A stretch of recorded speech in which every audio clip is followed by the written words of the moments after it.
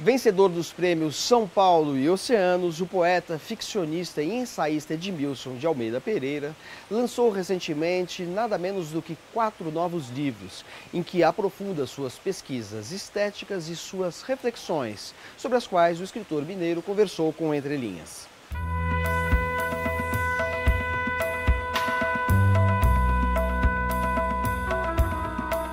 De que maneira o seu ensaio entre Orfeu, Exu e Exu Nuvô ilumina os três livros de poesia que você acabou de publicar? A sua pergunta é oportuna porque me dá a possibilidade de falar, talvez, pela primeira vez, dessa relação que eu procuro estabelecer desde sempre entre o campo da reflexão estética e o campo da criação artística, particularmente da escrita de poesia e de ficção. Eu acho que isso me coloca numa condição bastante confortável, porque eu proponho alguns elementos de reflexão e ao mesmo tempo desconfortável, porque toda a minha reflexão crítica ela é metacrítica, ela se constrói e se desconstrói continuamente. O Entre Orfeu e Exu Exu no ele propõe utilizar a figura específica de Exu, mas extraindo essa figura do contexto religioso, do contexto sacro, saindo do campo devocional para explorar exatamente o que as figurações dele propõem como propósito de mobilidade de valores, mobilidade de formas dentro de um campo social. É uma estética basicamente autocrítica que procura dar ao autor do discurso não a autoridade da afirmação de valores, mas o direito à dúvida contínua. E eu acho que isso é importante para o processo de criação poética, no meu caso em particular, já que os livros que saíram, é, O Som Vertebrado, O Melro e a morte também é aprecio jazz, há três instâncias aí nesses livros que eu acho importante frisar. Primeiro, eles negam é, esse excesso de discurso autobiográfico que a gente tem enfrentado hoje. E segundo, eles fazem uma espécie de defesa da autonomia do poético como um local mais de proposição de dúvidas do que afirmação de certeza. E por fim, são três livros que saem da esfera do domínio do autor que aparentemente controla a construção do discurso, e cai na esfera do leitor, que tem que construir a partir da sua experiência interpretações dessas obras.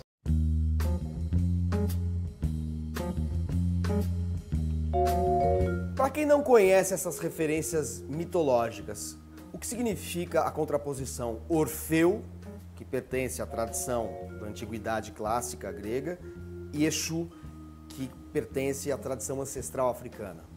A base do, do troféu Exu, Exu Nuvô é a base do meu projeto todo de trabalho com culturas populares já há décadas. Ou seja, é você pensar essas culturas populares, as culturas afrodiaspóricas no Brasil, como culturas estrangeiras. Ele propõe, a partir de um manancial, que é toda a mitologia de Orfeu, que já perpassa a nossa formação acadêmica, a nossa formação até mesmo de cultura de massa, é, o Exu vai indagar Orfeu e procurar ver o que, há de familiaridade entre esse mundo clássico que se afirmou como base do Ocidente e as outras matrizes culturais que estão aí, né? como se fala muito hoje, de certo modo é, bombardeando as fronteiras desses modelos estabelecidos. Então, o Orfeu Exu, na verdade, é uma proposição contraditória.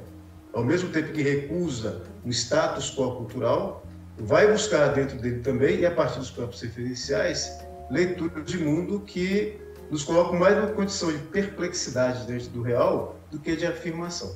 Porque me parece ser essa né, a base do que eu tenho tentado escrever. Menos conforto na compreensão do mundo uhum. e mais inquietação na apreensão do que ele nos propõe.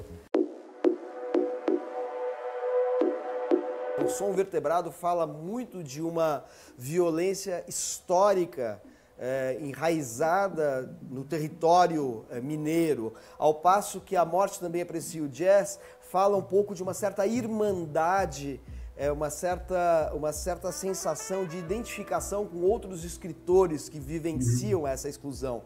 E o Melro aí é um livro que fala, é, encontra, vamos dizer assim, vários contrapontos entre a experiência brasileira com a experiência dos refugiados contemporâneos, dos exilados, dos deserdados da terra, para é, mencionar uma, uma, um título do Francis Fanon. É, há fatores históricos concretos e objetivos dos quais nem eu, nem você, nem nenhum, nenhum de nós conscientemente escapa.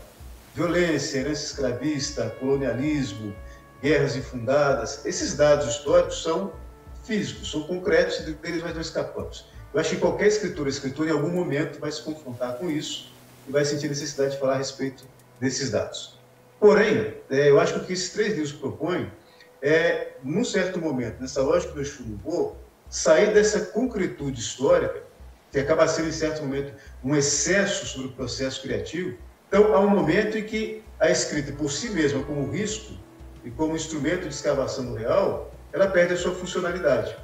Então, o que esses três livros fazem é direcionar a nossa compreensão, no primeiro momento, para esses eventos que você comentou, mas a partir de um determinado momento, há uma virada de chave e a linguagem sobre esses acontecimentos caminha para esse campo de opacidade, e onde vê o grande paradoxo da proposta de Churubô. Não são poemas, livros que se dão com muita facilidade. Nós já conversamos sobre isso uma certa vez, né?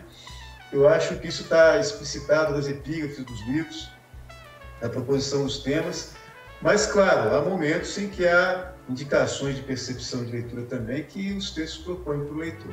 Não é o abandono total, mas não é o conchego absoluto.